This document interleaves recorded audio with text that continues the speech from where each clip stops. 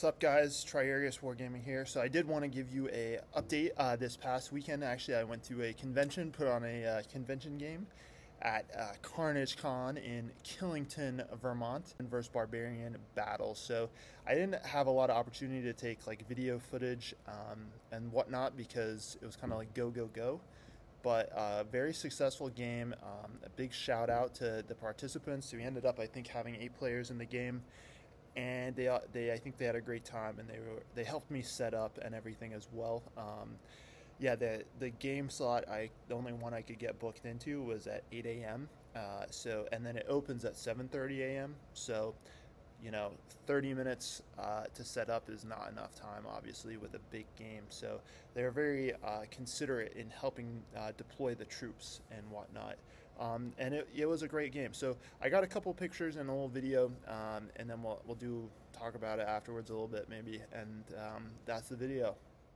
So our scenario was basically um, a Romans and barbarians encountering uh, each other kind of in Italy during you know the fall of the empire. The barbarians had an ambush in the woods. And then I will attack. Oh, this is something I'll attack you again. Okay.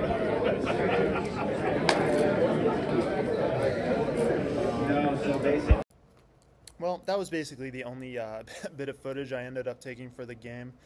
But uh, oh well, it was a big success. I mean, I pretty much had all my Romans on the table, and then maybe like two thirds of the barbarians. Um, so what is coming up next in terms of like participation games? Um, that's the last one for this calendar year.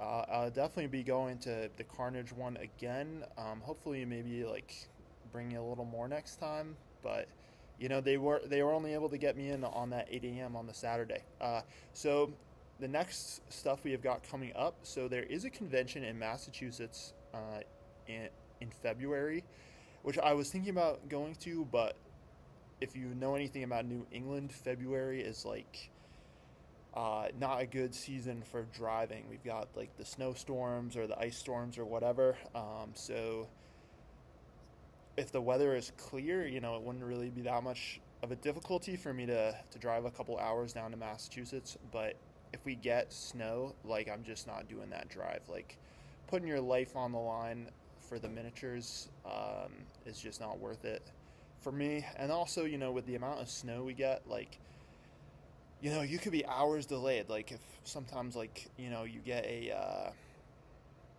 whatever 18 wheeler jackknifing on the highway, it's like the whole highway is shut down and you're stuck on the highway for hours or whatever.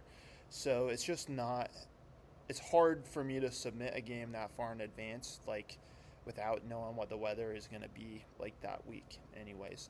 So probably can't do that one even though it would be a, it would be a great convention to go to. So what we're looking at is probably Mayhem, uh, which is a convention in Lebanon, New Hampshire, and that is in April. So the next game I want to put on is in April, and we're gonna do probably late Romans and barbarians again. I am getting a little tired of using those same armies over and over again, but those are also like my best armies that I have done. My other armies like don't really compare. I feel like.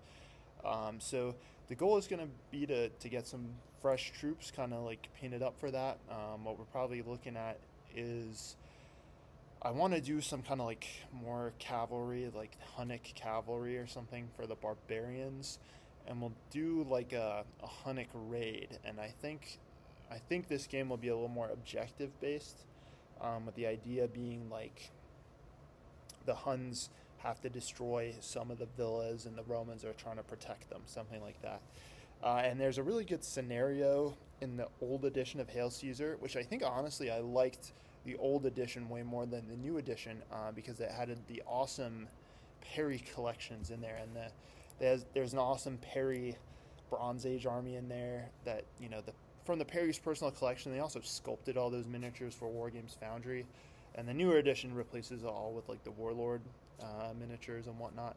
But those Perry collections are awesome. But they have a late Roman um, game in there with the Perry late Romans that they sculpted for Foundry, and they're set up for that.